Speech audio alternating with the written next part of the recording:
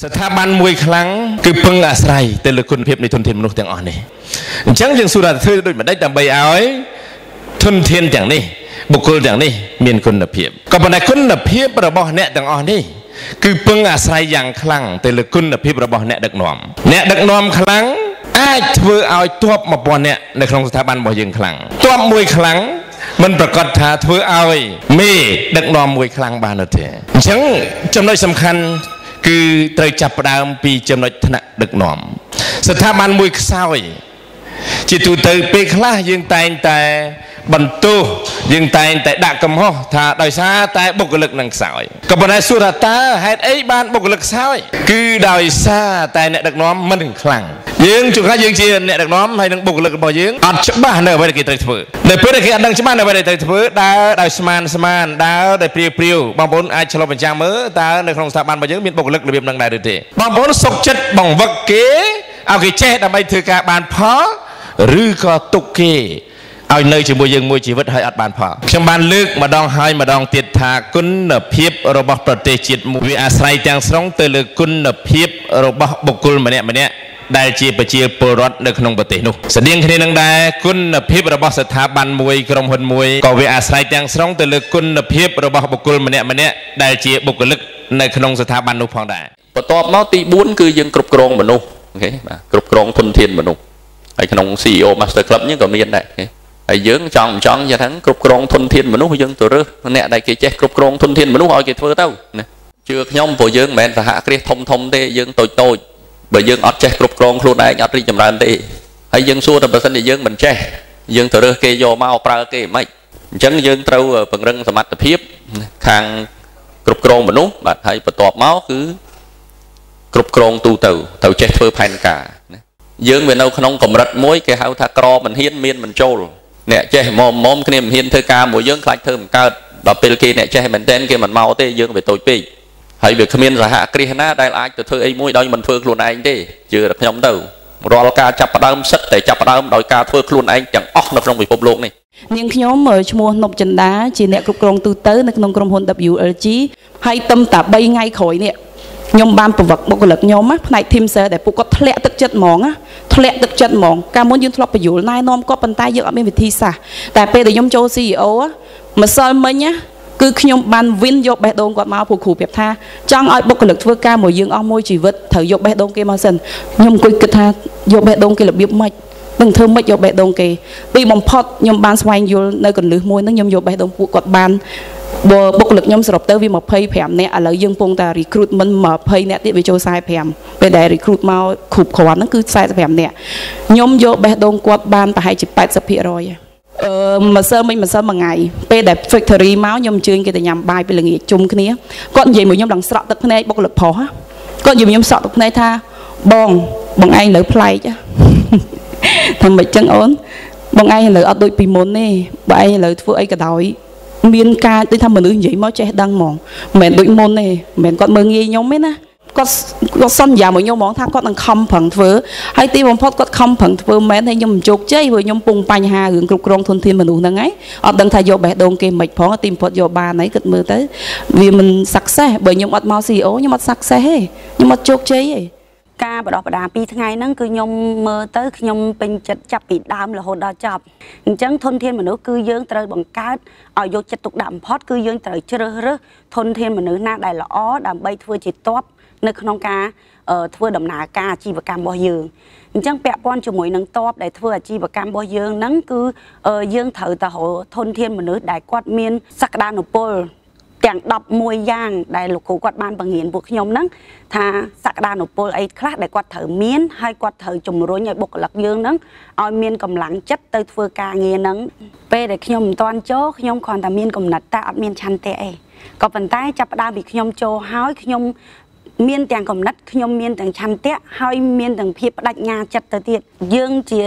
ជនជាតិខ្មែរហ្នឹងគឺសឹងតែមិនអាចទៅបើកក្រុមហ៊ុនធំហើយដែលមានស្តង់ដាររចនាសម្ព័ន្ធដូចជាក្រុមហ៊ុនពីបរទេសមកឯងអញ្ចឹងខ្ញុំគិតថាជាឱកាសមួយដ៏ល្អដែលលោកគ្រូអោបសេមីរ៉ាដែលគាត់បើកជាកម្មវិធីជា CEO បវកជីវករខ្មែរយើងហ្នឹងគាត់អាចយល់អាចដឹងអាចហ៊ានអ្វីដែលផ្សេងផ្សេងដែលយើងអត់ដែលធ្លាប់ ដឹងធ្លាប់ឮធ្លាប់ចេះមកដើម្បីអភិវឌ្ឍខ្លួនទៅអនាគតនឹងក្លាយទៅជាអ្នកដឹកនាំដ៏ឆ្នើមនៅក្នុងប្រទេសយើងវគ្គបណ្ដុះបណ្ដាលនេះសិតតែជាចំណេះដឹងដែលខ្ញុំយកមកប្រើប្រាស់ក្នុងការគ្រប់គ្រងនៅក្នុងស្ថាប័នរបស់ខ្ញុំនៅថ្ងៃនេះផ្ទាល់ចំណុចសំខាន់គឺ គ្រប់គ្រងទៅលើបុគ្គលិកកន្លងមកយើងមានគំនិតដែរក្នុងការបណ្ដោះបណ្ដាលដល់អ្នកលក់របស់យើងប៉ុន្តែយើងធ្វើដោយគ្មានការរៀបចំមានលក្ខណៈស្តង់ដារត្រឹមត្រូវយើងនឹកឃើញអីយើងកែតម្រូវគាត់ភ្លាមម្ដងមួយចំណុចម្ដងមួយចំណុចតែក្រោយពីយើងរៀនហើយយើងមានគោលការណ៍ច្បាស់ដែលត្រូវបង្រៀនគាត់ដើម្បីឲ្យគាត់ងាយឆាប់យល់ឆាប់ចាប់បានដូចខ្ញុំពីមុនខ្ញុំគិតថាប្រហែលជាខ្ញុំនឹងមានសមត្ថភាពគ្រាន់បើហើយ ប៉ុន្តែដោយឡែកដល់ពេលសមាជិករបស់ខ្ញុំឡើងកាន់តែច្រើន ការដឹកនាំកាន់តែមានភាពរញ៉េរញ៉ៃទើបខ្ញុំសម្រេចចិត្តក្នុងការសិក្សាវគ្គបណ្ដុះបណ្ដាលនេះដល់ពេលក្រោយពីសិក្សាហើយទើបដឹងថាពិភពលោកធំប៉ុណ្ណាទើបយើងយល់ពីសារៈសំខាន់នៃការសិក្សាគ្រាន់ខ្ញុំរៀន3វគ្គខ្ញុំភ្លឺច្រើនមែនទែនក្នុងការដឹកនាំស្ថាប័នរបស់ខ្ញុំហើយដូច្នេះ អ្នកទាំងអស់គ្នាដើម្បីឲ្យការគ្រប់គ្រងរបស់ស្ថាប័នរបស់យើង មានលក្ខណៈស្តង់ដារអាចគួរប្រជែងនៅក្នុងឆាកអន្តរជាតិបានយើងគួរតែមកចូលរួមក្នុងវគ្គសិក្សានេះទាំងអស់គ្នាចំណាប់អារម្មណ៍គឺឃើញថាមិនខកបំណងនៅអ្វីដែលយើងបានគិតទុកនៅពេលដែលយើងបានមកចូលរួមនៅក្នុងកម្មវិធីនេះវាធ្វើឲ្យយើងបានរំលឹកឡើងវិញនៅមេរៀនដែលយើងធ្លាប់រៀន ហើយក៏ដូចជាការក្រើនរំលឹកនៅចំណុចខ្វះខាត ដែលយើងមិនបានបំពេញក្នុងពេលដែលយើងធ្វើការងារជាក់ស្ដែង ការដែលយើងចេះគ្រប់គ្រងធនធានមនុស្សវាសំខាន់ពីព្រោះយើងធ្វើការជាមួយពួកគាត់រាល់ថ្ងៃ យើងមិនអាចថាប្រើអំណាចជាមេគេធ្វើការគៀបសង្កត់លើការងារគាត់បានទេយើងគួរតែមានរបៀបរបបក្នុងការគ្រប់គ្រងដែលត្រឹមត្រូវពីព្រោះធនធានមនុស្សគឺជាកត្តាដែលសំខាន់បំផុតនៅក្នុងក្រុមហ៊ុននិងរបបអាជីវកម្មនីមួយៗ បងប្អូនតែងតែមានបញ្ហានៅក្នុងក្រុមហ៊ុនរបស់យើងក៏ដូចស្ថាប័នរបស់យើងតកតងទៅនឹងការលំបាកក្នុងការពង្រីកអាជីវកម្មរបស់យើងយើងមានការលំបាកក្នុងការពេលដែលយើងចេញពីស្ថាប័នរបស់យើងអត់មាននរណាទទួលខុសត្រូវជំនួសយើងខ្ញុំតែងតែនិយាយថានេះគឺយើងនៅក្នុងភាពជាអ្នកទោសអាជីវកម្មហេតុអីបានជាក្រុមហ៊ុនបរទេសជាច្រើនបានពង្រីកខ្លួនរបស់គេមកទូទាំងពិភពលោក រហូតមកដល់ប្រទេសកម្ពុជា ដោយម្ចាស់របស់គេមិនមកនៅប្រចាំការនៅស្រុកយើងផងក្រុមហ៊ុនជាច្រើនអាចពង្រីកសាខារបស់គេទៅទូទាំងប្រទេសហេតុអីបានជាក្រុមហ៊ុនរបស់យើងពេលខ្លះបង្កើតជាយូរយារណាស់មកហើយប៉ុន្តែมันអាចពង្រីកសាខាបានទូលំទូលាយនេះគឺដោយសារតែតកតងយ៉ាងធំទៅនឹងសមត្ថភាពក្នុងការគ្រប់គ្រងចាត់ចែងធនធាននោះជាមួយចំណែកធំពេលដែលយើងចង់ពង្រីក សាខាទៅកន្លែងផ្សេងទៅខេត្តផ្សេងឬក៏ទៅខណ្ឌផ្សេងយើងអត់ដឹងថាតើគ្រប់គ្រងដោយរបៀបណាយើងអត់ទុកចិត្តមនុស្សដោយសារតែកន្លងមកការគ្រប់គ្រងរបស់យើងគឺតើតែយើងទុកចិត្តលុយដែលយើងកាន់តើតែនៅប្រពន្ធយើងបានកាន់បាន រឿងដែលខ្ជះខ្ជាយធំជាងគេបំផុតណាបងប្អូនមិនមែនប្រើទឹកភ្លើងអីច្រើនទេរឿងខ្ជះខ្ជាយធំជាងគេបំផុតគឺទ័ពរបស់យើងអត់ប្រើប្រាស់អស់ពីសក្តានុពលបងប្អូនសម័យមើលបើគេមានសមត្ថភាពធ្វើនៅអ្វីដែលយើងបង្ហាញផ្លូវគេតើគេអាចបង្កើននៅលទ្ធផលច្រើនបានប៉ុណ្ណាចំពោះវគ្គសិក្សា2ថ្ងៃទៅលើការវគ្គគ្រប់គ្រងធនធានមនុស្សសម្រាប់ម្ចាស់អាជីវកម្មនេះខ្ញុំបានទទួលពីបទពិសោធន៍ផ្សេងផ្សេងដ៏ល្អល្អពីលោកគ្រូពីមុនមកខ្ញុំធ្លាប់តែគ្រប់គ្រងនៅក្នុង មន្ទីរសម្រាប់ព្យាបាលរបស់ខ្ញុំលក្ខណៈជាស្តង់ដារធំក៏ប៉ុន្តែខ្ញុំពេលដែលបានស្ដាប់ការបង្រៀនយើងអាចយល់ពីពីរបៀបការបែងចែកនិងគ្រប់គ្រងបុគ្គលិកខ្ញុំគិតថាមានការរីកចម្រើនខ្លាំងផ្នែកគ្រប់គ្រងធនធានមនុស្សការអភិវឌ្ឍទៅលើបុគ្គលិករបស់យើងចំពោះការបង្វឹករបស់លោកគ្រូសេងបូរ៉ាខ្ញុំឃើញថាគឺពិតជាល្អឥតខ្ចោះហើយខ្ញុំសប្បាយចិត្តដែលមានលោកគ្រូបង្កើតវគ្គនឹងឡើងហើយខ្ញុំនឹងចូលរួមនៅវគ្គបន្តបន្ទាប់ បន្ថែមទៀតពេលដែលយើងមករៀនគឺតើតើការគ្រប់គ្រងបុគ្គលិករបស់យើងយើងមើលទៅហាក់ដូចជាមានការពិបាកប៉ុន្តែដល់ពេលក្រោយពីការរៀនហើយយើងគិតថាយើងនឹងអាចមានលទ្ធភាពក្នុងការរៀបចំគាត់ឲ្យមានសំណាប់ធ្នាប់ហើយយើងគិតថាយើងនឹងមានសមត្ថភាពអាចប្រែក្លាយអាជីវកម្មយើងនេះធ្វើនឹងឲ្យវាមានការរីកចម្រើនពិសេសផ្នែកគ្រប់គ្រងបុគ្គលិកយើងយើងមានជំនឿចិត្តក្នុងការធ្វើ ខ្ញុំគិតថាវគ្គសិក្សានេះគ្រប់សហគ្រិនត្រូវតែចូលរួមព្រោះការចូលរួមវគ្គគ្រប់គ្រងហ្នឹងធ្វើឲ្យយើងយល់ដឹងច្បាស់លាស់អំពីការរៀបចំលើផែនការបុគ្គលិកក្នុងវគ្គធនធានមនុស្សបើសិនតែគាត់ដូចខ្ញុំបើជាអាជីវកម្មខ្ញុំត្រូវការចាត់ចែងបុគ្គលិកឲ្យល្អគ្រប់គ្រងធនធានមនុស្សល្អធ្វើអាជីវកម្មនេះយើងរីកចម្រើនសម្រាប់ថ្ងៃនេះគឺយើងរៀនអំពីវគ្គជំនាញគ្រប់គ្រងធនធានមនុស្ស អញ្ចឹងវគ្គនេះគឺសំខាន់មែនទែនដែលខ្ញុំបានមួយថ្ងៃនេះគឺយើងបានដឹងអំពីមនុស្សបែបណាដែលយើងគួរតែយកមកបម្រើការងារនៅក្នុងក្រុមហ៊ុនរបស់យើងវិធីសាស្ត្រក្នុងការជ្រើសរើសបុគ្គលិកដែលត្រឹមត្រូវបំផុតនីតិវិធីមួយចំនួនដែលក្នុងការថែរក្សាបុគ្គលិកឲ្យគាត់នៅក្នុងស្ថាប័នរបស់យើងបានយូរអង្វែងនិងធ្វើការប្រកបទៅដោយប្រសិទ្ធភាពខ្ពស់ក្នុងថ្ងៃនេះអ្វីដែលយើងចាប់បានលក្ខណៈពិសេសក្នុងការជ្រើសរើសបុគ្គលិកហ្នឹងគឺយើងផ្ដោតទៅលើអត្តចរិត និងផ្នត់កំណត់របស់បុគ្គលិកមុនពេលដែលយើងចូលគឺយើងហាក់ដូចនៅលើសមុទ្រមួយដែលលវងល្វើយយើងមិនដឹងថាធ្វើម៉េចឲ្យត្រូវឲ្យបានដល់គោលដៅឬមនុស្សដែលយើងចង់បាននៅពេលដែលយើងចូលយើងដឹងពីរបៀបរបបក្នុងការជ្រើសរើសបុគ្គលិកដែលយើងចង់បានតែបន្ទាប់ពីខ្ញុំសិក្សាវគ្គទុនធានមនុស្សហើយធ្វើឲ្យខ្ញុំនឹងមានអារម្មណ៍ថាអូចំណុចខ្វះខាតខ្ញុំដឹងប្រហែលខ្ញុំនឹងទៅអភិវឌ្ឍហើយនឹងទៅកែច្នៃរង្វឹកបុគ្គលិកខ្ញុំឲ្យ ទៅជាស្តង់ដារពីបុគ្គលិកមិនទាន់ស្តង់ដារទៅជាស្តង់ដារពីថាធ្វើកិច្ចសន្យាកុងត្រាបុគ្គលិកអីដែលយើងអត់ដឹងដែលធ្វើឲ្យអាចធ្វើឲ្យយើងនឹងអាចវាជាខុសច្បាប់ដូច្នេះធ្វើឲ្យខ្ញុំដឹងពីយុទ្ធសាស្ត្រនៃការគ្រប់គ្រងបុគ្គលិកហើយនឹងជំនាញនៅក្នុងការដឹងពីអារម្មណ៍បុគ្គលិកចង់ធ្វើការជាមួយយើងគេមានអារម្មណ៍យ៉ាងម៉េចជំនាញគ្រប់គ្រងធនធានមនុស្សវគ្គនេះគឺជាវគ្គដែលពិសេសដែលឃើញថាធ្វើឲ្យយើងមានគំនិត ក្នុងការដឹកនាំមនុស្សនៅក្នុងក្រុមហ៊ុនរបស់យើងមានការឲ្យយើងចេះកែប្រែពីមុនមកយើងមិនមានការដឹងថាវាមានលក្ខណៈពិសេសដូចដែលយើងបានចូលរៀននេះទេព្រោះយើងឲ្យយើងចេះកែប្រែនិងចេះរៀបចំបែបតាមផ្នែកបុគ្គលិកនីមួយមួយទៅតាមផ្នែកឲ្យមានការអភិវឌ្ឍនិង មានការដឹកនាំជំនាញមួយមួយនោះគឺឲ្យប្រសើរជាងមុនដែលយើងមុនដែលយើងបានសិក្សាពួកអីខ្ញុំមើលឃើញថាកន្លងមកក្រុមហ៊ុនយើងខ្វះខាតច្រើនពួកយើងចាប់ផ្ដើមធ្វើជំនួយយើងកើតឡើងមកពីដំបូងមកគឺខ្ញុំធ្វើឡើងមកពីពីបាតឯកទេអញ្ចឹងយើងមកថាយើងចាប់ដំដាំទុនតិចតួចហើយយើងខ្វះខាតច្រើនមែនទែនផ្នែកបុគ្គលិកផ្នែកធនធានមនុស្សប៉ុន្តែក្រោយពេលដែលយើងបានខ្ញុំបានខ្ញុំផ្ទាល់បានចូលមក CEO Master Club ឃើញថានៅមានអ្វីអ្វីច្រើនទៀតដែលយើងអាចធ្វើបានហើយយើងធ្វើបានធំជាងនឹងទៀតអញ្ចឹងធ្វើឲ្យខ្ញុំមានកត្តាអភិវឌ្ឍយ៉ាងច្រើនទាក់ទងនឹងរឿង human resource ហើយនឹងធនធានមនុស្សធ្វើឲ្យក្រុមហ៊ុនយើងកាន់តែមានភាពរីកចម្រើនជាងមុនទៀតខ្ញុំគិតថាមានការកើនឡើងនៅប្រសិទ្ធភាពការងារខ្ពស់ទាំងហិរញ្ញវត្ថុទាំងការគ្រប់គ្រងធនធានមនុស្សរបស់នឹងគេការវិវត្តវែងឆ្ងាយរបស់ស្ថាប័នយើងខ្ញុំផងដែរខ្ញុំអាច set step ការងាររបស់គាត់ទៅតាមបទពិសោធន៍ដែលខ្ញុំទទួលបានពីលោកគ្រូអំសេមរាមក គឺខ្ញុំយកមកអនុវត្តនៅក្រុមហ៊ុននេះខ្ញុំណាអញ្ចឹងបុគ្គលិកខ្ញុំទោះបីខ្ញុំអត់នៅគាត់អាចចាត់ចែងតាមការងាររបស់គាត់បានចា៎ពីព្រោះអ្វីក៏ដោយគឺពាក់ព័ន្ធជាមួយនឹងមនុស្សនៅក្នុងអាជីវកម្មគឺ people skill គឺសំខាន់មែនទែនហើយដែលយើងអ្នកមួយចំនួនក៏បានមើលរំលងហើយការដោះស្រាយចំនួនបុគ្គលិកក៏មានការដោះស្រាយប្រសើរជាងមុនហើយបុគ្គលិកខ្ញុំឥឡូវខ្ញុំមកផលរបបផ្ដាច់ការដូចមុនទេឥឡូវមានការអីខ្ញុំហៅគាត់មកនិយាយ ជាការណែនាំជាការស្នើសុំឲ្យគាត់ផ្ដល់យោបល់មកខ្ញុំជាជាងប្រាប់គាត់ថាអូនឯងត្រូវធ្វើអញ្ចឹងធ្វើអញ្ចឹងបើកាលមុនគាត់អត់សុបាយចិត្តទេដល់ឥឡូវគាត់សុបាយចិត្តទៅនាងខ្ញុំក៏បែកកំណត់មួយថាឲ្យគាត់មកទទួលចំណេះដឹងពីខាង CEO ដែរហើយអ្វីដែលចំណុចសំខាន់ដែលជួយខ្ញុំមែនទែនគឺរៀនដឹកនាំមនុស្សព្រោះយើងជាប្រភេទ business owner មិនមែនរៀនសម្រាប់ធ្វើការគឺរៀនសម្រាប់ដឹកនាំមនុស្ស បានជាចំណុចសំខាន់បំផុតនៅក្នុងការដែលយើងរៀនប្រងចំណូលចំណាយហើយនឹងបុគ្គលិកជាដើមនឹងមាននយោបាយលើកទឹកចិត្តអីផ្សេងផ្សេងដែលខ្ញុំបានទទួលបានបទពិសោធន៍ពីវគ្គនឹងហើយខ្ញុំបានធ្វើការកែប្រែច្រើនខ្ញុំមកដល់បច្ចុប្បន្នខ្ញុំរៀនបាន3វគ្គហើយប៉ុន្តែខ្ញុំទទួលបាននឹងចំណេះដឹងប្លែកខ្ញុំចេះចាប់ដើមរៀបចំរចនាសម្ព័ន្ធក្រុមហ៊ុនចេះរៀបចំធនធានមនុស្សរបស់ខ្ញុំឲ្យបានល្អប្រសើរជាងមុនខ្ញុំគិតថាបងប្អូនម្ចាស់អាជីវកម្មទាំងអស់ប្រហែលជាមិនខុសខ្ញុំទេ ខ្ញុំមានបញ្ហាតាក់ទងនឹងបុគ្គលិកមានផលវិបាកចំនួនទាស់តែងគ្នាចំណែនគ្នាអញ្ចឹងក៏គាត់ណែនាំឲ្យខ្ញុំខ្ញុំក៏បានគិតដែរប៉ុន្តែខ្ញុំមិនទាន់បានចូលទេ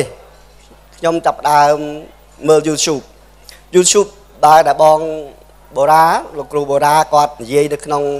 ក្នុង YouTube នោះគឺបុគ្គលិកដែលជាទ្រពនិងបុគ្គលិកដែលជាបំណុល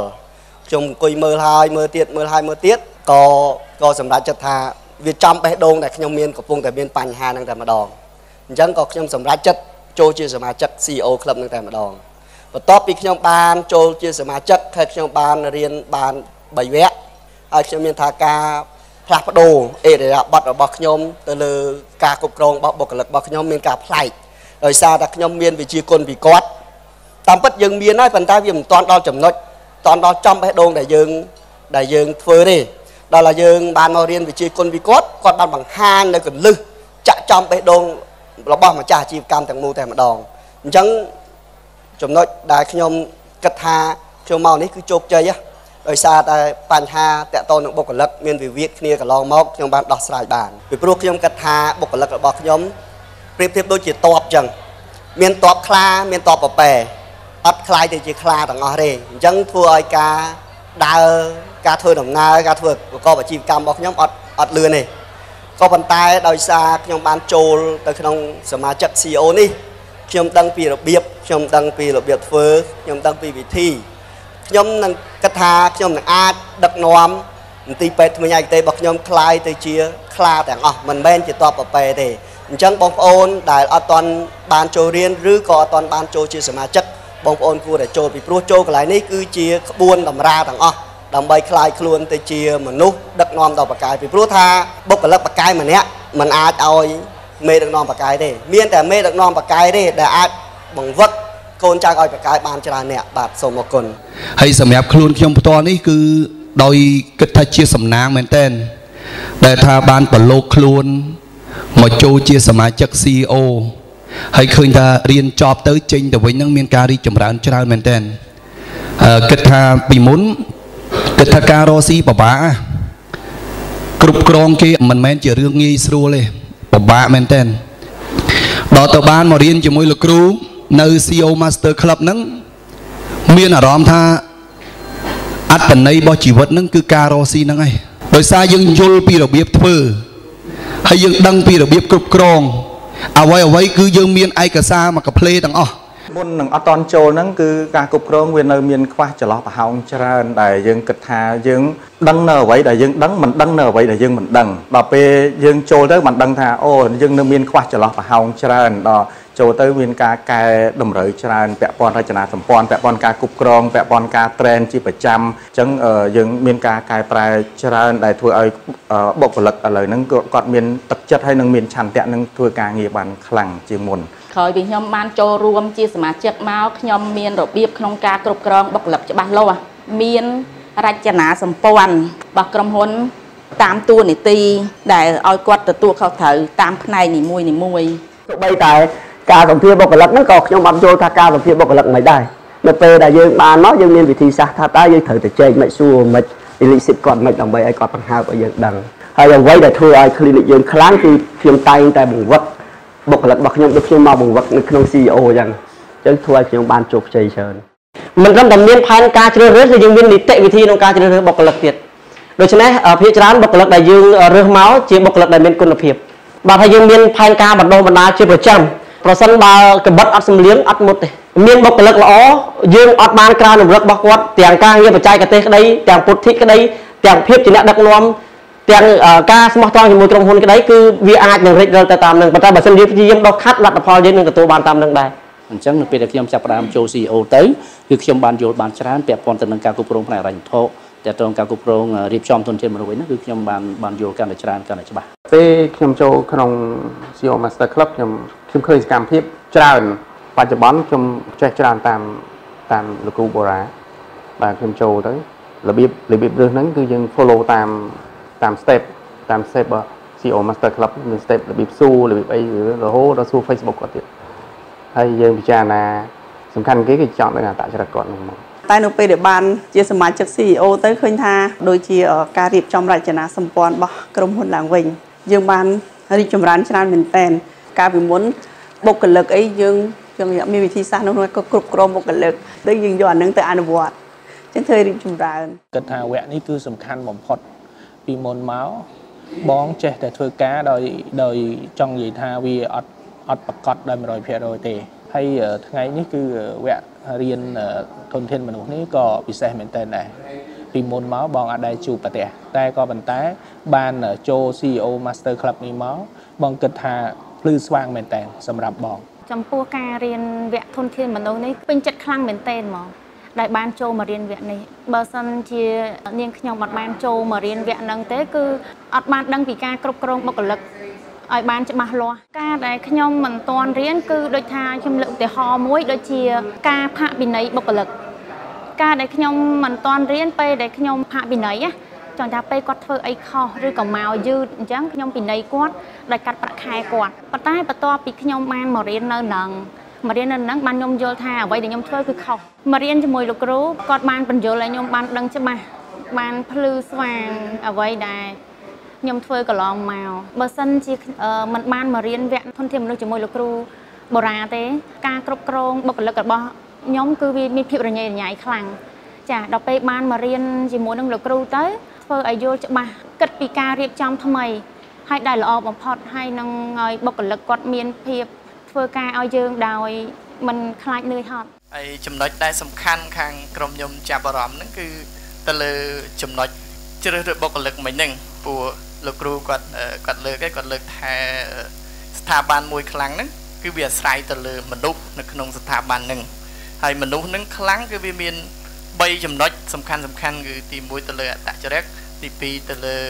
ការយល់ដឹងរបស់គេដែលលើព័ត៌មានរបស់គេហ្នឹងហើយទី3ទៅលើ បទពិសោធន៍ឬក៏ភាពស្ទាត់ជំនាញរបស់គេ ដែលលោកគ្រូគាត់លើកថាបើសិនជាមនុស្សនឹងអត្តចរិតគាត់យ៉ាប់ហើយនិយាយថាយ៉ាប់ហើយគឺពិបាកអីបាទបើសិនជាអត្តចរិតរបស់គាត់នឹងបានដែរបាទន័យថាគាត់ចង់ធ្វើដែរគាត់ចង់ធ្វើឲ្យអាការងារនឹងជោគជ័យដែរព្រោះយើងអ្នកដឹកនាំគឺយើងសំដៅទៅលើលទ្ធផលហើយមួយទៀតក្រុមរបស់ខ្ញុំគាត់លើកមកដែរអំពីបញ្ហានៃការជ្រើសរើសដំបូងថា រើសបានហើយប្រហាត់បានហើយខ្លាចគេអត់នៅបាទអាហ្នឹងក៏ជាចំណុចមួយដែរប៉ុន្តែតាមពិតវាមិនប្រវាទេបើយើងគិតទៅតាមអ្វីដែលលោកគ្រូគាត់ផ្ដល់មកពីមុនមកគាត់ថាចង់ឲ្យបុគ្គលិកមួយដែលយើងគិតថាគាត់ល្អហើយគាត់អាចនៅជាមួយយើងបានហើយហើយតែយើងធ្វើម៉េចរក្សាគាត់ឲ្យបាននៅដែលលោកគ្រូគាត់លើកមិញថាធ្វើម៉េចទិញបេះដូងគេបានឬក៏យកបេះដូងគេបានណាណាអឺកន្លែងយើងហ្នឹងវាខ្លាំងប៉ុណ្ណាគឺវាអាស្រ័យទៅលើ យើងជាថ្នាក់ដឹកនាំហ្នឹងហើយបានលើកឡើងមកដែរថាបើសិនជាជួនកាលថ្នាក់ដឹកនាំទាំងអស់ហ្នឹងយើងមិនសុទ្ធតែយើងនឹងដោះស្រាយគ្រប់រឿងទាំងអស់ហើយយើងមិនជាមនុស្សដែលប្រកែដែរឲ្យតែបញ្ហាអីទាំងអស់មករួញមកមេមេជាប់អាក្រមមកមេដោះស្រាយចេញទាំងអស់ជួនកាលមិនប្រកាសថាយើងដោះស្រាយចេញទាំងអស់ហើយបាទនិយាយវីដេអូឃ្លីបដែលលោកគ្រូបានចាក់មិញហ្នឹងខ្ញុំបានមើលនៅក្នុងអំឡុងពេលមុនចូលឆ្នាំហ្នឹងប្រហែលជា20ដងហើយ ដែលធ្វើឲ្យខ្ញុំរីកចម្រើនខ្លាំងមែនទែនដែលខ្ញុំសម្រេចចិត្តថាខ្ញុំអត់ដើរលេងត្រឹមត្រូវវីដេអូរបស់លោកគ្រូនេះគឺមានអត្ថន័យខ្លាំងគឺយើងមើលដដែលដដែលបើបងបងបានមើលម្ដងប្រហែលជាអត់មានអីចាប់អារម្មណ៍ទេមើលជាច្រើនដងមើលឲ្យឃើញចំណុចខ្លាំងរបស់លោកគ្រូនិយាយពាក្យមួយម៉ាត់មួយម៉ាត់សិតតែមានអត្ថន័យទាំងអស់ទៅក្នុងវីដេអូមួយហ្នឹងសូម្បីតែខ្ញុំមើលម្នាក់ឯងខ្ញុំមើលទៅខ្ញុំមើលអត់អត់ចាំខ្ញុំឲ្យប្រពន្ធខ្ញុំមើល គាត់បានឃើញចំណុចដែលខ្ញុំស្ដាប់ទៅខុសគ្នាវីដេអូតែមួយតែស្ដាប់ទៅខុសគ្នា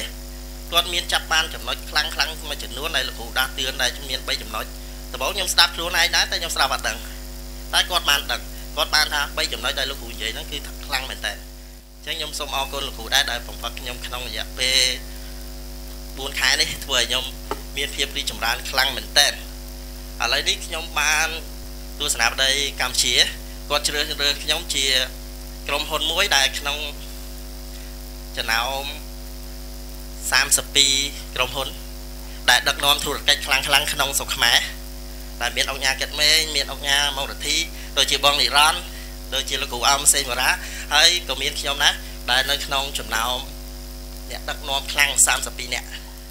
វាជាចំណុចមួយដែលធ្វើឲ្យខ្ញុំមានភាពរីកចម្រើនពេលដែលចូលជាមួយលោកគ្រូកាលពីមុនគាត់តែ microphone នេះខ្ញុំអត់ហ៊ានកាន់ទេខ្ញុំអត់អត់ហ៊ានតែម្ដង តែឥឡូវត្រឹមតែរយៈពេល4ខែ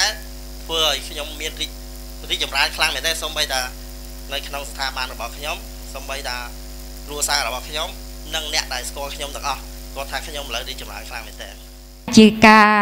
ឆ្លងកាត់របស់ខ្ញុំហើយខ្ញុំចង់ចែករំលែកវាតកតងនឹងបុគ្គលិកបំណុលហើយនឹងបុគ្គលិកទ្រព្យបុគ្គលិកគេចែកចេញជា3ទី1គេហៅថា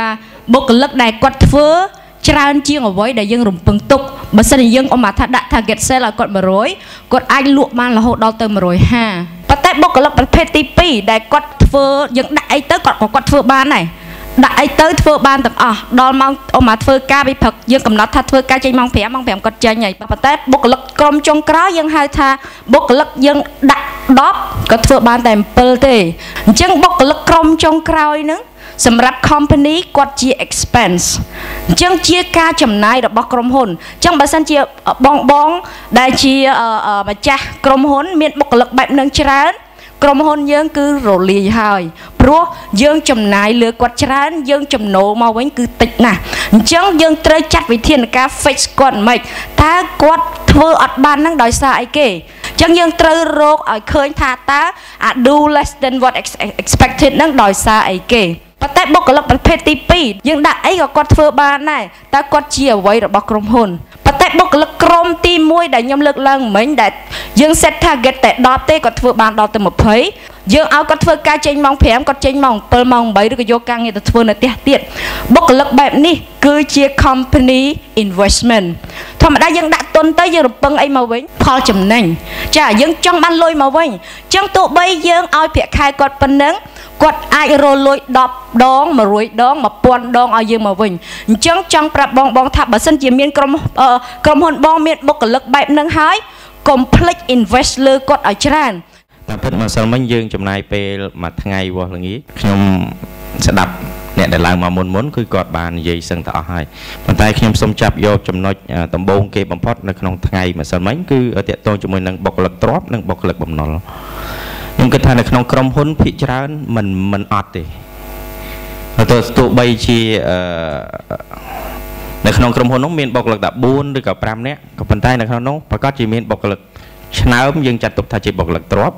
ហើយបុគ្គលិកដែលមិនសកម្មយើងចាត់ទុកជាបុគ្គលិកបំណុលសម្រាប់ក្រុមហ៊ុនសម្រាប់អ្នកដឹកនាំគួរតែបែងចែកឲ្យបានច្បាស់នៅបុគ្គលិកទាំងពីរប្រភេទនេះយើងជាអ្នកដឹកនាំគួរតែមើលឲ្យម៉ត់ចត់តាក់ទងជាមួយនឹងអ្នកណាជាបុគ្គលិកទ្របសម្រាប់បុគ្គលិកបំណុលអឺពេលខ្លះ ពិបាកក្នុងការបង្រៀនបង្វឹកគាត់ក៏ប៉ុន្តែនៅក្នុងក្រុមហ៊ុនមិនគួរណាបោះបង់គាត់ចោលទេគួរតែផ្ដល់ឱកាសនិងពេលវេលាសម្រាប់គាត់ក្នុងការស្ថាបនាខ្ញុំឈ្មោះស៊ុនសេយូខ្ញុំជាអាជីវករលក់គ្រឿងសំណង់នៅក្នុងក្រុងប៉ោយប៉ែតវគ្គគ្រប់គ្រងធនធានមនុស្សថ្ងៃនេះខ្ញុំពេញចិត្តខ្លាំងហើយនឹងមានចំណាប់អារម្មណ៍ខ្លាំងត្រង់ថាបើតាមក្រុមហ៊ុនធំធំដែលខ្ញុំសម្គាល់មើលគឺការរស់ស៊ីការរស់ស៊ីនិងការវិនិយោគទុន គឺម្ចាស់អាជីវកម្មគឺមិនអាចធ្វើខ្លួនឯងទេនេះវាពាក់ព័ន្ធទៅនឹងការប្រើមនុស្សដើម្បីឲ្យធ្វើអាជីវកម្មជំនួសម្ចាស់អាជីវកម្មព្រោះខ្ញុំមើលឃើញថាក្រុមហ៊ុនដែលជាពិសេសក្រុមហ៊ុនសហការដែលខ្ញុំបានរកស៊ីជាមួយគាត់រាល់ថ្ងៃនេះគាត់មិនមានក្រុមហ៊ុនមួយណាដែលម្ចាស់អាជីវកម្មរបស់គាត់ហ្នឹងដែលម្ចាស់របស់គាត់ហ្នឹងចុះមកជួបធ្វើបដិសណ្ឋារកិច្ចជាមួយនឹងដេប៉ូឬក៏កន្លែងរកស៊ីរបស់ខ្ញុំទេគឺផ្ទុយទៅវិញមានតែបុគ្គលិកមួយគត់អញ្ចឹងបានន័យថាគឺម្ចាស់ក្រុមហ៊ុនគេមានជំនាញក្នុងការប្រើធនធានមនុស្សដើម្បី ឲ្យមានតំណែងតំណងក្នុងការធ្វើឲ្យអាជីវកម្មរបស់គេរីកចម្រើន បាទនេះហើយគឺជាចំណាប់អារម្មណ៍ដែលខ្ញុំចង់ចូលរួមនិងចង់ដឹងនៅក្នុងរបៀបប្រើមនុស្សបែបនេះចំណុចសំខាន់សំខាន់នៅខាងក្នុងការគ្រប់គ្រងមនុស្សបែបនេះគឺវាមានច្រើនបញ្ហាវានៅចិត្តចិត្តខ្លួនយើងទេជារឿងដែលយើងធ្លាប់ជួបរាល់ថ្ងៃប៉ុន្តែយើងមិនដែលចាប់អារម្មណ៍ជួនកាលបញ្ហាហ្នឹងមកប៉ះលើខ្លួនយើងហើយដោយយើងមិនបានផ្ដោតទៅលើវាគឺយើងមិនគិតថាវាគឺជាបញ្ហាអ្វីដែលសំខាន់គឺការដែលយើងចេះពង្រឹង ឬក៏ចេះបណ្ដោះនៅស្មារតីរបស់បុគ្គលិកដើម្បីឲ្យបុគ្គលិកមានជំនាញនិងជំនឿចិត្តក្នុងការធ្វើឲ្យអាជីវកម្មរបស់យើងរីកចម្រើនមុនពេលចូលនិងក្រោយពេលចូលគឺវាមានការខុសគ្នាច្រើនពេលដែលខ្ញុំត្រឡប់ទៅផ្ទះវិញខ្ញុំនឹងរៀបចំនឹងដើម្បីអភិវឌ្ឍស្ថាប័នរបស់ខ្ញុំឲ្យមានភាពរីកចម្រើនដូចជាការចាត់តាំងមុខងារទូនាទីនិងការរៀបចំប្រព័ន្ធការងារនិងធ្វើឲ្យផ្ទៃក្នុងវាមានភាពរឹងមាំ ដើម្បីកុំឲ្យព័ត៌មានខាងក្រៅវាខ្ចរខ្ចាយដើម្បីឲ្យប៉ះពាល់ដល់ស្ថាប័នរបស់យើង បាទខ្ញុំគិតថាលោកគ្រូដែលគាត់បង្វឹកយើងនេះគឺគាត់មានជំនាញក្នុងការនិយាយគឺគាត់បានបកស្រាយច្បាស់ច្បាស់នៅរាល់បញ្ហានីមួយនីមួយរោគពីដំណោះស្រាយការពង្រឹងខ្លួននិងការវិវត្តផ្សេងផ្សេងគឺគាត់បានបកស្រាយច្បាស់ច្បាស់ដោយយើងមិនចាំបាច់ស្វែងយល់អីច្រើនពេកទេអញ្ចឹងបើសិនជាយើងប្រើនៅចំណេះវិជ្ជាដែលយើងធ្លាប់មានពីមុនមកដោយមិនមានគោលដៅច្បាស់លាស់ គឺការរស់ស៊ីរបស់យើងគឺវាមានបញ្ហាច្រើនតែបើសិនជាយើងចូលនៅក្នុងការជំនាញក្នុងការប្រើប្រាស់មនុស្សប្រើប្រាស់ធនធានមនុស្សបែបនេះវាធ្វើឲ្យអាជីវកម្មរបស់យើងរីកចម្រើនច្រើននិងវាពាក់ព័ន្ធបច្ចេកទេសនៃការបង្រៀនរបស់គ្រូផងដែរបាទជាចុងក្រោយខ្ញុំចង់ផ្ដាំផ្ញើដល់បងប្អូននៅពេលប៉ែនេះសូមមេត្តាមករៀនវគ្គនេះឲ្យបានច្រើនព្រោះថាភាពជោគជ័យនៃអាជីវកម្មរបស់យើងគឺផ្ដោតទៅលើអ្នករាល់គ្នាដែលនៅក្នុងស្ថាប័នរបស់យើងមិនមែនតែយើងធ្វើម្នាក់ឯងទៅវាជោគជ័យទេ គឺបានន័យថាយើងម្នាក់ឯងគឺកម្លាំងមិនគ្រប់គ្រាន់ដើម្បីជំរុញឲ្យអាជីវកម្មរបស់យើងជោគជ័យទេលុះត្រាតែបុគ្គលិករបស់យើងខ្លាំងទៅអាជីវកម្មរបស់យើងជោគជ័យបើយើងកាន់តែម្នាក់ឯងគឺយើងកាន់មិនអស់ទេតែបើយើងកាន់តែម្នាក់ឯងយើងនឹងខ្លាយទៅជាអ្នកទោសអាជីវកម្មទី1ខ្ញុំអាចយល់ដឹងពីមនុស្សនិងការគ្រប់គ្រងមនុស្សបានកាន់តែល្អហើយឲ្យខ្ញុំអាចធ្វើការចាត់ចែងទៅលើបុគ្គលិកនៅក្នុងស្ថាប័នខ្ញុំទៅតាមទូនាទីហើយនៅថាឲ្យមាន វាចង់និយាយថាធ្វើការជាលក្ខណៈប្រព័ន្ធខ្ញុំឈ្មោះរដ្ឋាកយននៃក្រុមហ៊ុន Vigo ហើយខាងក្រុមហ៊ុនខ្ញុំផ្ដល់សេវាកម្មតាក់ទងមួយតាក់ស៊ីតាមរយៈ mobile app ចំពោះខ្លួនខ្ញុំខ្ញុំខុសផ្នែកទៅលើនៅក្នុង CEO Master Club បានបរៀនខ្ញុំឲ្យតាក់ទងមួយការគ្រប់គ្រងលើធនធានមនុស្សតើយើងគួរតែគ្រប់គ្រងលក្ខណៈធនធានមនុស្សយើងនៅក្នុងស្ថាប័នយើងដោយរបៀបណាកលឹះសំខាន់សំខាន់អ្វីខ្លះដែលយើងគួរយកទុកដាក់នៅក្នុងមេរៀនក្នុងការគ្រប់គ្រងនឹងទី1ខ្ញុំអាច យល់ដឹងពីមនុស្សនិងការគ្រប់គ្រងមនុស្សបានកាន់តែល្អហើយឲ្យខ្ញុំអាចធ្វើការចាត់ចែងទៅលើបុគ្គលិកនៅក្នុងស្ថាប័នខ្ញុំទៅតាមទូនាទីហើយនៅថាឲ្យមានវាចង់និយាយថាធ្វើការជាលក្ខណៈប្រព័ន្ធខ្ញុំគិតថា CEO Mass Club គឺជាស្ថាប័នមួយដែលល្អបំផុតខ្ញុំគិតថាបងប្អូនអាជីវម្ចាស់គឺពិកម្មអឺដែលមិនទាន់បានចូលជាសមាជិកខ្ញុំគិតថាជាការប្រសើរយើងគួរតែចូលរៀននិងចូលជា member ដើម្បីទី1ដើម្បីពង្រឹងនៅសមត្ថភាព ឲ្យយើងឲ្យខ្លាំងក្នុងការគ្រប់គ្រងទៅលើស្ថាប័នទី2តទៅមួយបទពិសោធន៍ដែលលោកគ្រូអង្គសេបារាគាត់បានសៀពីបទពិសោធន៍គាត់ដែលគាត់បានឆ្លងកាត់រាប់សិបឆ្នាំហើយនៅកលឹះល្អល្អនឹងជោគជ័យរបស់គាត់ដើម្បីឲ្យយើងអាចជោគជ័យដូចគាត់ដែរខ្ញុំបានរៀនវគ្គ CEO Master Club ជាមួយលោកគ្រូហោមសេនបុរាណនេះគឺ4វគ្គហើយចាតែដំបូងខ្ញុំមករៀនវគ្គដំបូងនេះខ្ញុំបានការយល់ដឹងយ៉ាងច្រើននៅក្នុងការអប់រំឬនៅក្នុងគ្រួសារពីមុនខ្ញុំជាមនុស្សដែលឆៅឆាវ អឺកូនចៅធ្វើអត់ដូចចិត្តររឿងគាត់ចាហើយឥឡូវដល់ពេលបានមករៀនមួយលោកគ្រូបាន4វគ្គអឺចាប់ផ្ដើមមួយវគ្គទៅមួយវគ្គខ្លួនឯងហ្នឹងគឺផ្លាស់ប្ដូររហូតពេលដែលខ្ញុំមករៀនមួយលោកគ្រូអឺខ្ញុំបានដំបូងមានល្អល្អអញ្ចឹងខ្ញុំតាំងចិត្តថាខ្ញុំជាមេដឹកនាំអញ្ចឹងខ្ញុំត្រូវធ្វើខ្លួនឲ្យល្អដើម្បីជាគំរូសម្រាប់គាត់អញ្ចឹងខ្ញុំមករៀនបានចំណេះពីលោកគ្រូខ្ញុំក៏យកទៅប្រាប់គាត់ចាព្រោះអីខ្លួនឯង ជាមេដឹកនាំទៅធ្វើជាគំរូឲ្យគាត់ចាហើយខ្ញុំព្យាយាមរាល់ថ្ងៃនេះគឺខ្លួនឯងអ្វីក៏ដោយពីមុនអត់ដឹងអត់បានអត់បានរៀនអត់ដឹងអត់យល់តែ4វគ្គនេះគឺយល់យ៉ាងច្រើនយល់បានច្រើនមែនតើហើយក៏ផ្លាស់ប្ដូរសូម្បីតែការនិយាយស្ដីជាមួយគាត់ពីមុនអត់បានគោរពការនិយាយស្ដីទេសូម្បីតែការនិយាយស្ដីអីខ្លួនឯងហ្នឹងអត់សូវបានរៀបរយទេអឺនិយាយទៅងាយងាយ ចាដល់ពេលចាប់ផ្ដើមខ្ញុំរៀនបាន4វគ្គសូម្បីតែកូនចៅកូនក្មួយខ្ញុំអឺគាត់ចង់ហុចអីឲ្យខ្ញុំក៏គាត់សិតតែហុចមានដៃត្រចាអញ្ចឹងខ្ញុំគិតថានេះដោយសារខ្ញុំបានអឺអនុវត្តខ្លួនឯងចាព្យាយាមធ្វើអំពើល្អខ្លួនឯងតាំងចិត្តថាខ្លួនឯងត្រូវតែធ្វើជាគំរូឲ្យគាត់អ្វីក៏ដោយគឺផ្ដើមចេញពីខ្លួនយើងយើងត្រូវធ្វើល្អសិនដើម្បីឲ្យអ្នកដទៃហ្នឹងគេគិតថាគាត់ល្អយើងត្រូវយកគំរូតាម ចាហើយខ្ញុំអរគុណច្រើនមែនតើលោកគ្រូដំបូងមានចា4វគ្គនេះខ្ញុំបានច្រើនណាផ្លាស់ប្ដូរខ្លួនឯងបាន70%ចាសូមវ័យតកូននេះក៏ដោយចាហើយអរគុណច្រើនចាមិត្តភ័ក្តិទាំងអស់គ្នាមកកន្លែង CEO Master Club នេះពិតជាអត់ខុសបំណងទេដែលយើងមានការមានកង្វះខាតនៅក្នុងគ្រួសារឬបញ្ហាអ្វីមួយនេះមកកន្លែងហ្នឹងគឺអត់ខុសទេចាហើយខ្ញុំខ្លួនឯងក៏ព្យាយាមចង់ឲ្យលោកគ្រូអញ្ជើញទៅប៉ោយប៉ែតដែរ ព្រោះដើម្បីឲ្យមិត្តភ័ក្តិខាងនោះគាត់បានសិក្សាអឺជំហានដំបូងគឺមេរៀនដំបូងដែលខ្ញុំបានរៀនមួយលោកគ្រូហ្មងអឺយើងធម្មតាប្តីប្រពន្ធមានភាពខ្វះចន្លោះអឺអត់ដឹងតាមពិតអត់ដឹងមែនដោយសារចេះតែខឹងចេះតែងក់ចេះតែងតែតាមពិតមករៀនទៅដឹងមែនថាតាមពិតមនុស្សម្នាក់ម្នាក់រវល់រៀងរៀងខ្លួនអញ្ចឹងដល់អញ្ចឹងគាត់មានពេលណានឹងលួងលោមយើងអញ្ចឹងមានតែយើងខ្លួនឯងតើចេះស្រឡាញ់ខ្លួនឯងដឹងខ្លួនឯងថាជានរណា ចានាងខ្ញុំឈ្មោះបានចន្ទធូចាខ្ញុំជាម្ចាស់ក្រុមហ៊ុន Goodwill Sport Club និងជាម្ចាស់សន្តាគារប្រចាំនៅក្រុងប៉ោយប៉ែចាវគ្គដែលខ្ញុំចូលរៀនវគ្គធនធានមនុស្សគ្រប់គ្រងបរិញ្ញាដោយលោកគ្រូអមសេងវរាពីថ្ងៃនេះខ្ញុំចំណាប់អារម្មណ៍របស់នាងខ្ញុំគឺល្អពីមុនខ្ញុំអត់អនុវត្តរឿងការរើសបុគ្គលិករើសប្រធានចាត់ចែងគ្រប់គ្រងតាំងពីអ្នកស្មាតអញ្ចឹងវគ្គនេះល្អបំផុតសម្រាប់នាងខ្ញុំដែរ មិនដែលបានចូលរៀនពីមុនមកចំណាក់អារម្មណ៍ខ្ញុំពីរថ្ងៃដែលខ្ញុំបានសិក្សាជាមួយលោកគ្រូល្អល្អមែនតើ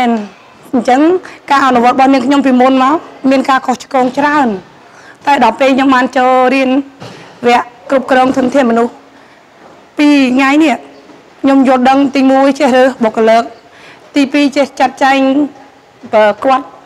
ចេះចាត់ចែងគ្រប់បែបយ៉ាងនេះថាពីមុនខ្ញុំអត់យល់ ឥឡូវខ្ញុំយល់បានច្រើនច្រើននឹងច្រើនមែនទែនដែលខ្ញុំអនុវត្តមកនេះចាខ្ញុំអាចបង្វឹកមហាត់ដូចថាបុគ្គលិកនាងខ្ញុំគាត់រៀនដាក់ទី5ទេតែគាត់អាចកាន់ផ្នែករីសិបបានច្រើន ទី1គាត់អាចជួយការងារខ្ញុំបាន30%តែ50%ចង់ឲ្យបងប្អូនពលប៉ែនមកសាករៀនមួយវគ្គឬវគ្គណាដែលបងប្អូនចំណាក់អារម្មណ៍បើសិនជាចូលរៀនឲ្យខុសមិនមកពួកខាងក្រុម CO យើងខ្ញុំនឹងបកគលជូននៅថវិកា គ្រប់ចំនួនឥឡូវលោកគ្រូគាត់សុំតែងតាំងខ្ញុំជាគណៈការរាជទូតសម្រាប់ប្រចាំពលប៉ែនចាអរគុណជំរាបសួរនាងខ្ញុំឈ្មោះ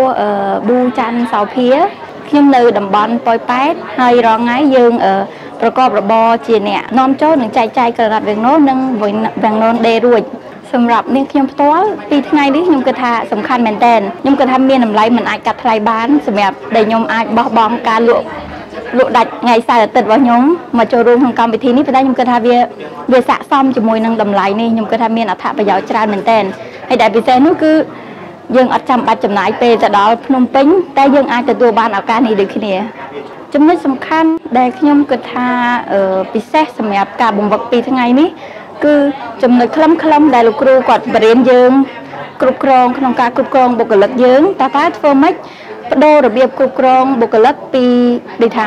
យើងហៅរបៀបគ្រប់គ្រងបែបបុរាណបែបរបរតាមផ្ទះធម្មតាឲ្យខ្លាយជារបៀបគ្រប់គ្រងតាមបែបលក្ខណៈស្តង់ដារ ដែលវាពិតជាជួយយើងច្រើនណាស់ក្នុងការដែលយើងចង់ពង្រីកអាជីវកម្មហើយនឹងមួយទៀតវាអាចជួយយើងឲ្យគេចផុតពីអ្នកទៅអាជីវកម្មដែលថាយើងអត់អាចទៅណាសោះការងារជាប់ដៃមែនតើអញ្ចឹងរបៀបថ្មីដែលលោកគ្រូបង្រៀនយើងនេះគឺជួយយើងថាធ្វើម៉េចដើម្បីយើងអាចផ្ដល់សិទ្ធិឬក៏ធ្វើម៉េចចាត់ចែងការងារក្រុមការងារយើងបានដើម្បីយើងមានឱកាសនិងមានពេលវេលាបន្ថែមដើម្បីទៅធ្វើការងារផ្សេងដើម្បីរីកចម្រើនកាន់តែជាងនឹង សម្រាប់ខ្ញុំផ្ទាល់គឺខ្ញុំគិតថាលោកគ្រូគាត់បានបង្ហាញយើងឲ្យយើងភ្លឺភ្នែកវាដែលយើងធ្លាប់ឆ្លងកាត់មកជួបនឹងឧបសគ្គច្រើនលោកគ្រូបានបកស្រាយបង្ហាញដោះស្រាយនៅឧបសគ្គនឹងចង្អុលបង្ហាញថាយើងត្រូវដើរធ្វើម៉េចដើម្បីបញ្ជៀសនៅឧបសគ្គទាំងអស់ហ្នឹងដែលខ្ញុំធ្លាប់ជួបប្រទះក្នុងការគ្រប់គ្រងបុគ្គលិកនៅនៅក្នុងអាជីវកម្មយើងកន្លងមក សម្រាប់ខ្ញុំគាត់គឺពូកែមែនតើគាត់គឺគឺជាអ្នកដែលពូកែជំរុញឲ្យពួកយើងឲ្យពួកយើងអ្នកជាអាជីវករជាកូនសិស្សទាំងអស់គ្នារបស់គាត់ហ្នឹងឲ្យឲ្យមានទឹកចិត្តថាខំក្លាហានខំកែប្រែយើងមិនមែននៅតែអាជីវកម្មធម្មតាអញ្ចឹងទេទេគឺយើងនឹងមានសង្ឃឹមផ្លាស់ប្ដូរអាជីវកម្មយើងពីតូចទៅធំពីអត់ស្តង់ដាទៅជាស្តង់ដាគាត់គឺ បកកាយជំរុញទឹកចិត្តពួកយើងមែនតើសម្រាប់ខ្ញុំផ្ទាល់គឺសូមផ្ដាំផ្ញើទៅបងប្អូនអាជីវករដែលនៅប៉ោយប៉ែតទាំងអស់វគ្គនេះពិតជាសំខាន់មែនតើហើយអាចចំណាយពេលខ្ញុំគិតថាគាត់គួរតែចំណាយពេលរបស់គាត់ចូលរួមជាមួយនឹងកម្មវិធីនេះខ្ញុំលើកទឹកចិត្តឲ្យអាជីវករទាំងអស់គាត់ចូលរួមរៀនវគ្គនេះដើម្បីឲ្យគាត់ត្រឡប់ទៅវិញគាត់មានវិធីគ្រប់គ្រងបុគ្គលិកគាត់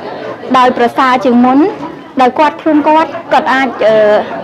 គ្រប់គ្រងបុគ្គលិកគាត់ដោយគាត់មិនរវល់ខ្លាំងដូចមុនហើយនឹងបានប្រសិទ្ធភាពខ្ពស់ជាងមុនចំណុចដែលខ្ញុំចាប់អារម្មណ៍ដែលត្រូវយកទៅអនុវត្តនៅស្ថាប័នហ្នឹងគឺចំណុចដែលធ្វើយ៉ាងម៉េចសិក្សាពីបុគ្គលិករបស់ខ្ញុំផ្នែកគំនិតរបស់គាត់ឲ្យគិតទៅជាវិជ្ជមានដើម្បីឲ្យគាត់ហ្នឹងធ្វើការឲ្យយើងមិនបាច់យើងខំរួញគាត់ទៀតទេខ្ញុំបាទឈ្មោះអៀវសុជាតិជាអ្នកគ្រប់គ្រងនៅក្រមសាងសង់ GBC អញ្ចឹងវគ្គនេះដែលខ្ញុំចូលនេះគឺវគ្គគ្រប់គ្រងធនធានមនុស្សហ្នឹងគឺខ្ញុំចង់មានការគ្រប់គ្រងមួយដែលមានរចនាសម្ព័ន្ធដែលមានភាពស្តង់ដាដែលមានច្បាប់ទម្លាប់ ដែលមានវិន័យនៅក្នុងស្ថាប័នរបស់ខ្ញុំ ដើម្បីជំរុញឲ្យស្ថាប័នរបស់ខ្ញុំហ្នឹងលូតលាស់ដោយមិនបាច់ខ្ញុំខំប្រឹងស្រែ កឡូឡារាល់ថ្ងៃចំណុចដែលខ្ញុំពេញចិត្តរបស់ការបង្វឹករបស់លោកគ្រូអមសេងវរានេះគឺខ្ញុំបានពេញចិត្តជាខ្លាំងទៅលើការដែលធ្វើឲ្យខ្ញុំភ្ញាក់ខ្លួនឡើងដូចដែលខ្ញុំបានភ្ញាក់ពីគេងដែលខ្ញុំបានគេងជាយូរណាស់មកហើយដែលមកដល់ពេលនេះមកដល់កន្លែងនេះដែលខ្ញុំបានរៀនពីផ្នែកគំនិត ពីរបៀបគ្រប់គ្រងរបៀបអីផ្សេងផ្សេងហ្នឹងធ្វើឲ្យខ្ញុំមានអារម្មណ៍ថាខ្ញុំភ្ញាក់ឡើង ខ្ញុំមើលឃើញពន្លឺដែលអាចធ្វើឲ្យខ្ញុំរកផ្លូវឃើញបាន ចំណុចដែលពីថ្ងៃហ្នឹងចំណុចដែលខ្ញុំចាប់អារម្មណ៍ដែលត្រូវយកទៅអនុវត្តនៅស្ថាប័នហ្នឹងគឺចំណុចដែលធ្វើយ៉ាងម៉េចសិក្សាពីបុគ្គលិករបស់ខ្ញុំលើកទឹកចិត្តបុគ្គលិករបស់ខ្ញុំផ្នត់គំនិតរបស់គាត់ឲ្យគិតទៅជាវិជ្ជមានដើម្បីឲ្យគាត់ហ្នឹងធ្វើការឲ្យយើងមិនបាច់យើងខំរួញគាត់ទៀតទេអញ្ចឹងឲ្យគាត់យល់ពីផ្នត់គំនិតមុននឹងខ្ញុំចូលហ្នឹងខ្ញុំមើល YouTube ច្រើន តកតនជាមួយនឹងខាងគ្រូផ្សេងផ្សេងវាមិនផ្សេងផ្សេងទៀតហ្នឹងមានភាពខុសគ្នាទាំងអស់អញ្ចឹងខ្ញុំសម្រេចចិត្តមកកន្លែងនេះខ្ញុំគិតថាកន្លែងនេះគឺជាកន្លែងប្រភពដែលរៀបប្រព័ន្ធការងារឲ្យវាធូរខ្លួនឲ្យវាមានស្តង់ដារដើម្បីពង្រីកខ្លួនទៅជាស្ថាប័នស្តង់ដារមួយពង្រីកខ្លួនឲ្យវាមានកេរ្តិ៍ឈ្មោះល្បីអីផ្សេងផ្សេងហ្នឹងបានខ្ញុំសម្រេចចិត្តមកកន្លែងហ្នឹងបើវគ្គធនធានមនុស្សនេះគឺគួរតែមានសម្រាប់សហគ្រិនផ្សេងផ្សេងទៀត ដែលគាត់អត់ទាន់បានចូលហ្នឹងខ្ញុំឥឡូវនេះខ្ញុំបានអាហ្នឹងទៅខ្ញុំយកទៅអនុវត្តសិនហើយអ្នកដែលមិនទាន់ចូលជាសមាជិក CEO ឬក៏អ្នកមិនទាន់បានមករៀនវគ្គខ្លីរបស់ CEO នេះខ្ញុំឲ្យយោបល់ថាគួរតែមកសាកមើលទៅព្រោះវគ្គនេះគឺដាស់តឿនខ្លួនឯងមានឯកសារគ្រប់គ្រាន់សម្រាប់ឲ្យយើងយកទៅអនុវត្តហើយធ្វើឲ្យយើងមានអារម្មណ៍ប្លែកខុសពីពេលដែលយើងអត់ទាន់បានចូលអត់ទាន់បានដឹងអញ្ចឹងយើង គួរតែចូលមកដើម្បីទទួលអារម្មណ៍ថ្មីមួយដែលមានអារម្មណ៍ថាស្រឡះខ្លួនជាង នៅពេលដែលយើងមិនទាន់បានចូលទោះមិនទាន់បានអនុវត្តនៅឡើយក៏ដោយបាទក្នុងរយៈពេលមួយថ្ងៃកន្លះដែលខ្ញុំបានសិក្សានៅទីនេះគឺខ្ញុំបានយល់ដឹងច្បាស់ពីរបៀបនៃការគ្រប់គ្រងនិងការធ្វើតំណែងតំណែងទៅនឹងបុគ្គលិកព្រោះកន្លងមកនៅកន្លែងធ្វើការរបស់ខ្ញុំគឺតែងតែមានជួបបញ្ហាដូចជា ដូចដបងមានប្រសាសន៍មិនអញ្ចឹងមេដោយមេទៅកូនចៅនៅដោយកូនចៅទៅអ្នកណាចង់ធ្វើអីគេថាអត់មានម្ចាស់ការថ្ងៃច្បាស់លាស់អត់មានគោលដៅឲ្យបានត្រឹមត្រូវចេះតែធ្វើទៅជួបបញ្ហាអ្វីយើងចេះតែធ្វើតទៅទៀតទៅដល់ពេលថ្ងៃណាជួបបញ្ហាទៅយើងដោះស្រាយពាក់ព័ន្ធបញ្ហានៅខាងមុខមកត្រូវដោះស្រាយខាងក្រៅវាពាក់ព័ន្ធគ្នាឲ្យដោយសារយើងអត់បានធ្វើឲ្យខាងក្រោយនេះឲ្យបានស្រួលរៀបចំឲ្យបានត្រឹមត្រូវអញ្ចឹងវាអាច បង្កឲ្យមានបញ្ហាទៅដល់ថ្ងៃមុខទៀតបាទអរគុណច្រើនដែលខ្ញុំបានមកដល់ CEO Masters នេះហើយគឺដឹងច្រើនហើយខ្ញុំខ្ញុំមានកំណត់ថាខ្ញុំត្រូវតែបង្កើតឲ្យច្រើនសាខាឬក៏បើកនៅជំនាញអីដែលខ្ញុំអាចចង់ធ្វើតទៀតខ្ញុំឈ្មោះផាន់សវណ្ណាបើកជាការ៉ាស់លក់នឹងទិញរថយន្តឈ្មោះផូណារិន មួយវគ្គមួយវគ្គរបស់លោកគ្រូគឺធ្វើឲ្យខ្ញុំចំណាប់អារម្មណ៍ខ្លាំងគឺអាចធ្វើឲ្យខ្ញុំដឹងពីគោលដៅនិងគោលការណ៍ដែលខ្ញុំត្រូវធ្វើបន្តទៀតពេលដែលខ្ញុំបានមកដល់ CEO Masters នេះហើយគឺដឹងច្រើនហើយខ្ញុំខ្ញុំមានកំណត់ថាខ្ញុំត្រូវតែបង្កើតឲ្យច្រើនសាខាឬក៏បើកនៅជំនាញអីដែលខ្ញុំអាចចង់ធ្វើតទៀតការបង្វឹករបស់គាត់ខ្ញុំថាល្អដោយសារតែគាត់មានបទពិសោធន៍ការបង្វឹកក៏គឺគឺបង្វឹកនៅលើបទពិសោធន៍ដែលគាត់មាន មិនមែនបង្វឹកនឹងលើមាត់នឹងការនិយាយឬក៏ជាមេរៀនរាល់ថ្ងៃម្ចាស់សហគ្រិនរាល់គ្នាក៏កំពុងតែមានការអនុវត្តដែរអញ្ចឹងដូចជាស្ដាប់នឹងការអនុវត្តដូចគ្នាជាចិត្តក្រោយខ្ញុំសូមចង់ផ្ដាំផ្ញើទៅរាល់សហគ្រិនទាំងអស់ដែលមិនទាន់បានមក CEO សូមឲ្យគាត់អញ្ជើញមក CEO ដើម្បីទទួលនៅបទពិសោធន៍ពីលោកគ្រូអោមសេងបូរ៉ានិងបទពិសោធន៍ទាំងអស់ដែលគាត់ត្រូវតែបង្កើនឲ្យដល់ថ្នាក់កំពូល តើលោកអ្នកកំពុងចង់ពង្រីកអាជីវកម្មមែនដែរឬទេចូលរួមជាសមាជិក CEO Master Club ដើម្បីក្លាយជាអ្នកដឹកនាំធុរកិច្ចកម្ពុជាបានយ៉ាងឆាប់រហ័សធ្វើអាជីវកម្មតូចទៅជាធំពីលក្ខណៈគ្រួសារទៅជាស្តង់ដារពង្រីកបណ្ដាញការលក់កាន់តែទូលាយលើកកេរ្តិ៍ឈ្មោះក្រុមហ៊ុនឲ្យកាន់តែខ្ពស់និងចូលរួមអភិវឌ្ឍសង្គមកាន់តែខ្លាំងលោកអ្នកនឹងទទួលបានការប្រឹក្សាជាបន្តបន្ទាប់ CEO Master Club ពង្វឹកអ្នកដឹកនាំធុរកិច្ចកម្ពុជាធ្វើឲ្យសេដ្ឋកិច្ចក្នុងស្រុករឹងមាំ